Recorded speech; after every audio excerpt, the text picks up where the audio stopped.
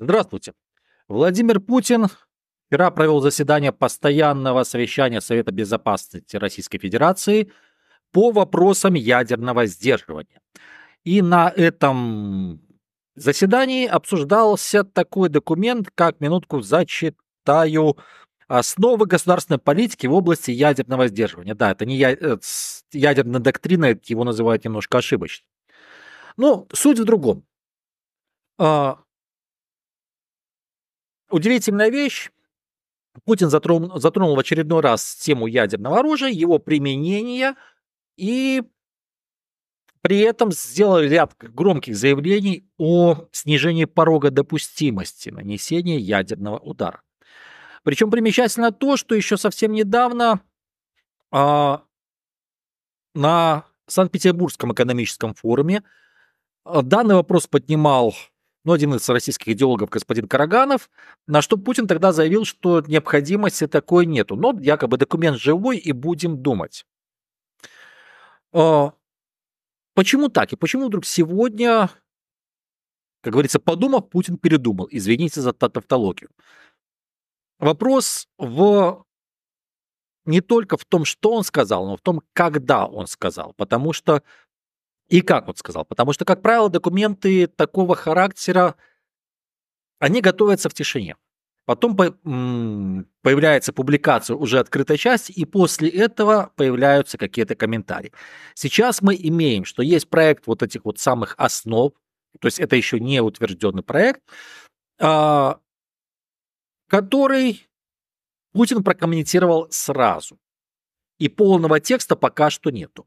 И второе, на что на себя обращает внимание, что такие документы, по крайней мере, открытая часть рано или поздно публикуются, где содержится информация как о характере угроз, так и о характере реакции на эти угрозы. То есть, условно говоря, если это, ну, допустим, там вторжение, то какая может быть реакция, до, до какой ступени? То есть, ну, надо ли запускать весь ядерный арсенал по всем странам мира? Если совсем просто говорить. В данном случае мы имеем очень, интересный, э, очень интересную деталь. Есть общие слова о том, что снижается порог допустимость применения ядерного оружия, но нету ни слова о механизмах, то есть об инструментарии. Какая часть ядерной э, триады будет использована? Тактическая либо э, стратегическая и так далее и тому подобное. То есть вот по этому полный молчу. Соответственно, возникает вопрос. Ну, так, извините, а если нет такой конкретики, что происходит? А происходит то, что часть получателей информации, это как обычные граждане ряд, ряда государств, так и ряд политиков, они домысливают сами. Ну, люди, как правило, думают в негативной конве, особенно если ты занимаешься политикой, вопросом безопасности, то есть исходишь из худшего. То есть, естественно, думают худшее. И вот тут мы под... Э, и соответствующая реакция. И тут мы подходим к тому, так а что это было? Я более чем уверен, что это информационная операция в первую очередь. Что это информационный посыл, который имеет ряд целей и целевых групп. Тем более, как и любой информационный посыл, а, он должен иметь ну, правильное не только, не только форму, но еще и время применения, время, как так сказать, заброса. И вот тут давайте подумаем, что вот что изменилось Санкт-Петербургского экономического форума, извините, это июнь месяц 2024 года, до сегодняшнего дня. Я сел таки на досуге, э, подсчитал, в принципе, 6 ключевых вот таких факторов. Ну, давайте начнем с первого. Атака вооруженных сил Украины на Курскую область. Ну, это то, что мало того, что атаковали, мало того, что захватили, так и спешно собранный ударный кулак Российской Федерации не может по состоянию на сегодня выдавить вооруженные силы Украины с территории Российской Федерации в границах 91 года. И э, ряд подконтрольных даже Кремлю вот абсолютно таких пораженных пропагандистских ресурсов начинают уже серьезно обсуждать, а идет ли СВО по плану. Вот то, что они называют СВО. Ну, давайте вспомним Соловьева. А в то же время э, параллельно с этим атаки на фронте, попытки нейтрализовать провал в Курской области через э, быстрый успех в Донецке. Тем более, что там, да, там украинский фронт начал достаточно быстро пятиться. Но ни одного крупного более-менее города, ни одного райцентра Россия занять за это время так и не смогла. То есть а, демонстрация истории победы тоже какая-то, ну, проблемка получается. следующее. А, последние два месяца э, удар вооруженных сил Украины, ну и там и служба безопасности, ГУР по тыловым районам Российской Федерации. Тут и воздушные тревоги в Москве, и удары под Мурманском. Но самое главное, что поражаются достаточно чувствительные и большие объекты. То есть те же самые склады боеприпасов, те же самые большие нефтяные базы. Это то, что скрыть достаточно сложно. Ну, когда у тебя нефтебаза горит 7 дней, извините, ну это вечный огонь, это не падение обломков. Либо когда у тебя 4 дня срывается один из крупнейших и самых защищенных складов. Вот, то есть, соответственно, это все, все это вместе, оно несколько, ну, как бы сказать, триггерит население. Вот, то есть, ну, возникает вопрос, окей, а все ли у нас идет как хорошо? И на этом фоне начинается передача, передача Украине авиации, тоже напомню, что это этим летом произошло. И последняя неделя активизируются дискуссии о целесообразности разрешить Украине бить западным а, дальнобойным оружием по тыловым районам Российской Федерации. Речь идет в первую очередь а, по раке, а, о ракетах. Все это, естественно, это внешнеполитический вызов и внутриполитический. И еще один процесс – это последние две недели дискуссии о форматах и возможностях завершения войны в Украине. То есть тут, с одной стороны, есть в том числе неприятным для Киева заявление ряда э, европейских политиков, тот же сам президент Чехии, есть заявление ряда американских политиков. Э, параллельно с этим э, активизировался вновь Китайская Народная Республика Бразилия с предложением своего плана.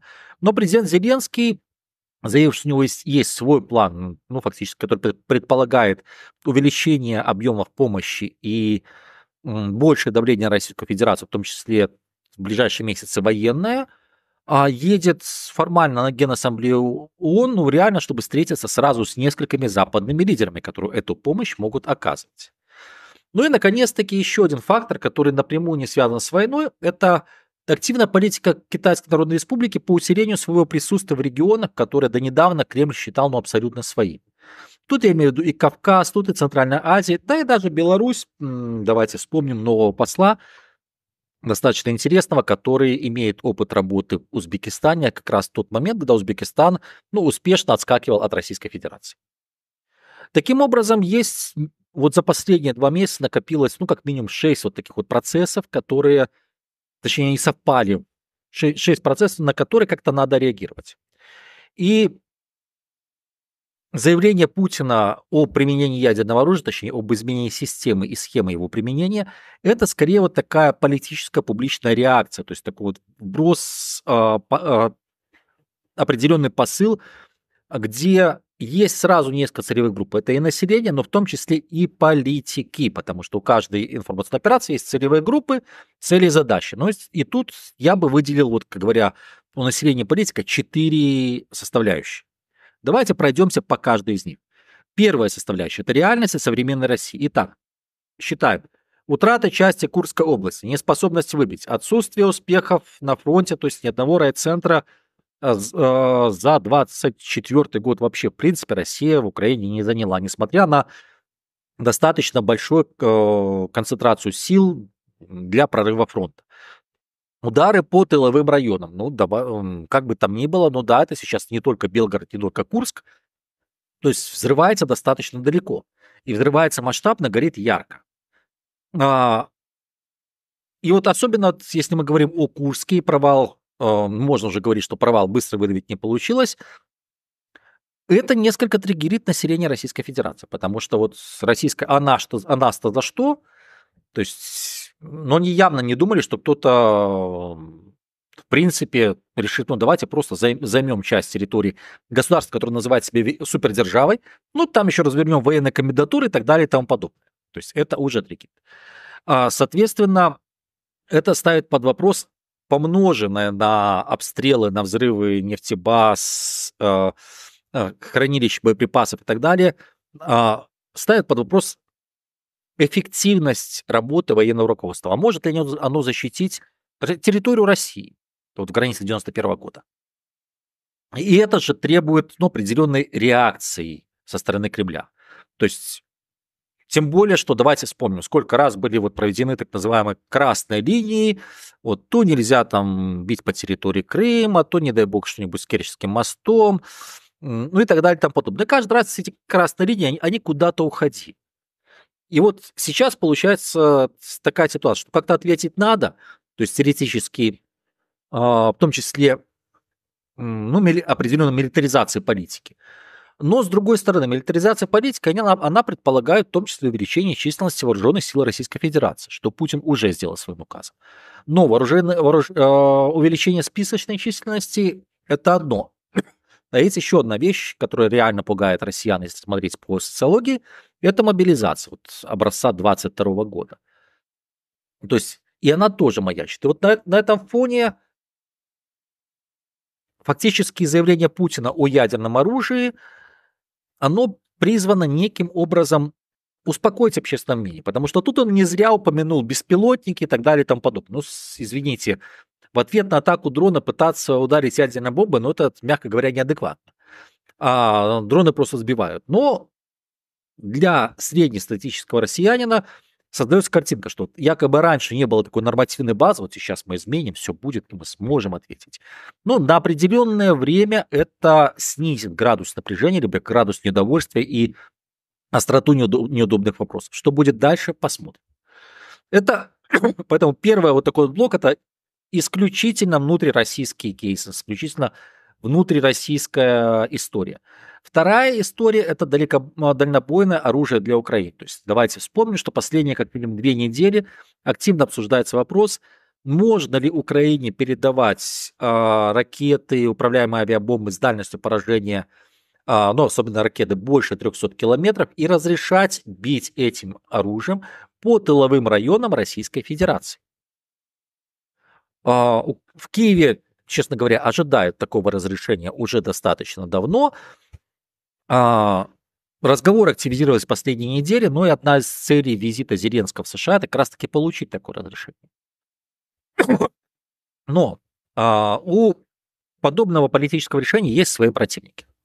Ну, среди достаточно влиятельных политиков США, стран э, Европейского Союза. Потому что вот конец 23-24 год, как раз-таки вот такая полупатовая, ну, либо патовая ситуация на фронте, какая создавалась, она заставила думать о вариантах прекращения огня. Даже по линии соприкосновения и потом пытаться перевести все в политический трек. То есть фактически некий аналог Минского процесса.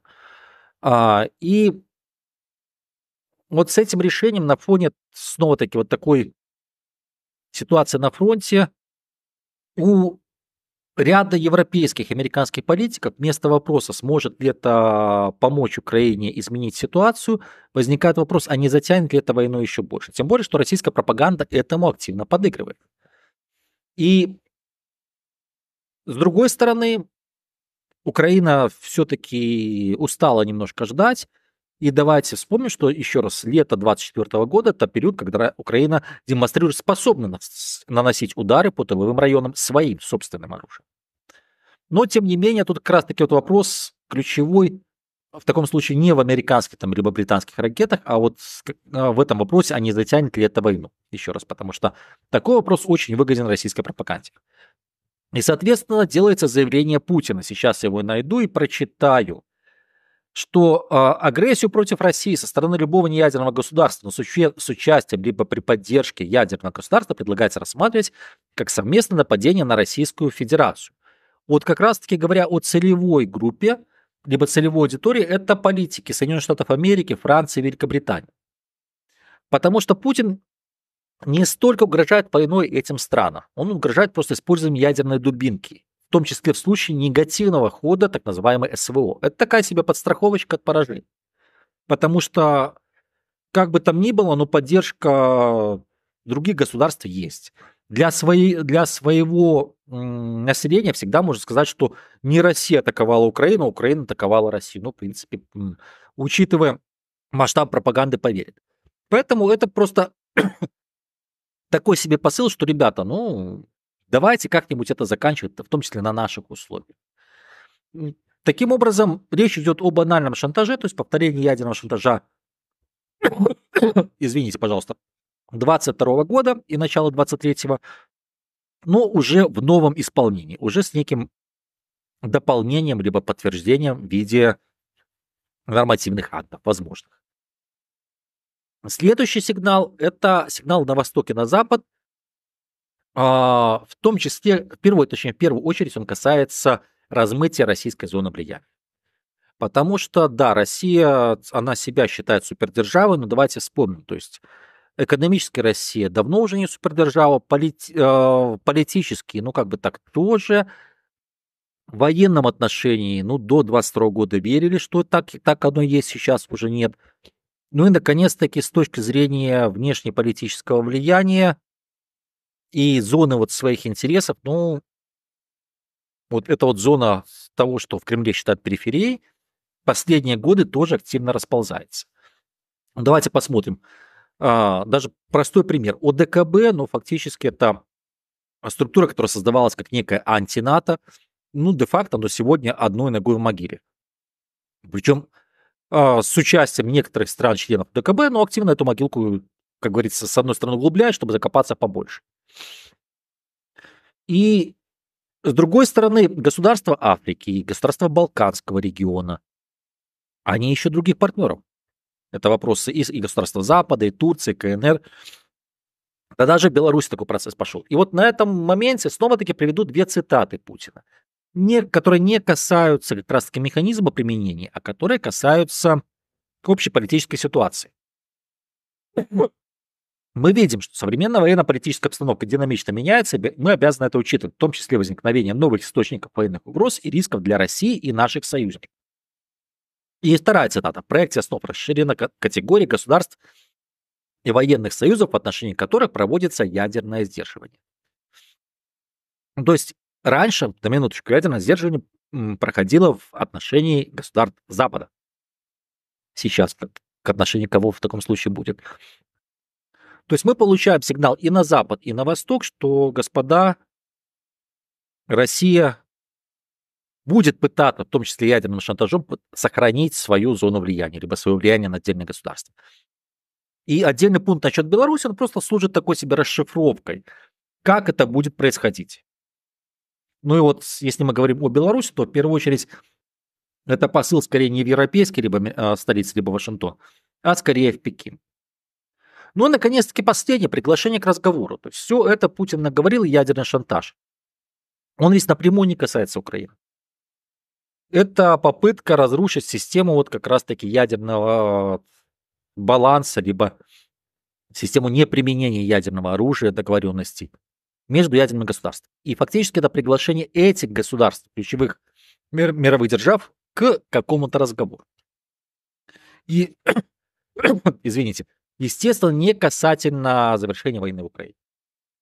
Для России выгодно вести разговор о трансформации миропорядка и сохранении за Россией какого-то уникального своего статуса, а, где украинский вопрос будет являться всего лишь частностью. Ну, якобы обсуждаем и Африку, и ядерное оружие, и экономическое сотрудничество, и Северный морской путь. Вот и есть Украина, война в Украине.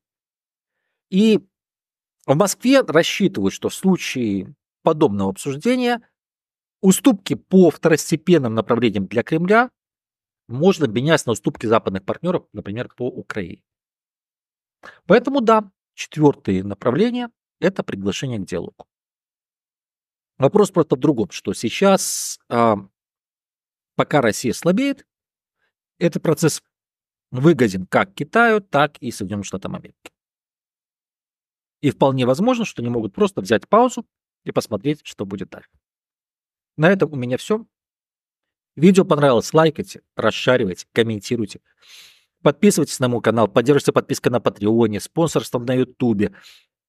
Эти способы поддержки развития канала, они стимулируют меня раз за разом возвращаться, делиться с вами своими рассуждениями. Традиционно не верьте ни одному моему слову. Каждый тезис надо проверять, перепроверять. Человек называется человеком разумным именно потому, что он может сам приходить к собственным выводам. И вы можете соглашаться, либо не соглашаться с любым спикером, будь то я, будь то, то другой. Но верить на слово так вот слепо, ну, это не стоит. Можно ошибиться. Ну, в остальном, спасибо, что смотрели. Радости, счастья, удачи, мирного неба над головой. Всего наилучшего.